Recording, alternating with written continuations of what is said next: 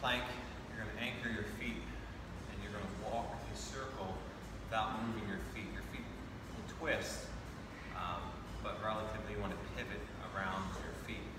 So we'll go one way, that would be one rep, back the other way would be uh, a rep the other direction. So one way is a half a rep, back the other way is one full rep. Or if you're doing this for time, just make sure you balance out going to your right and going to your left. So looks like this. I'm going to put my feet together, neutral spine. I'm to start with my wrists underneath my shoulders, draw my navel in, and I'm going to pivot around my feet.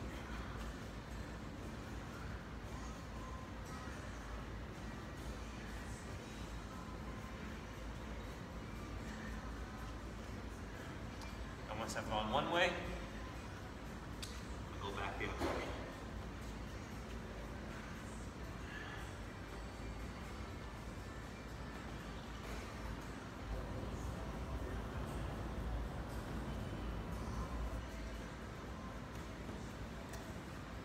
that's a pinwheel plank.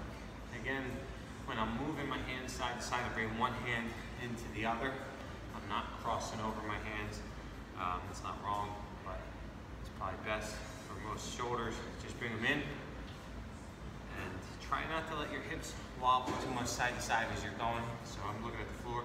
Try not to let the hip swing back and forth as you're moving. Try to keep everything parallel with the ground. The analogy I always like to use is, you know, you have your cup of hot coffee or your ice cold beverage on your back, and you don't want that to spill. So keep that nice and flat, and parallel to the ground. That is a.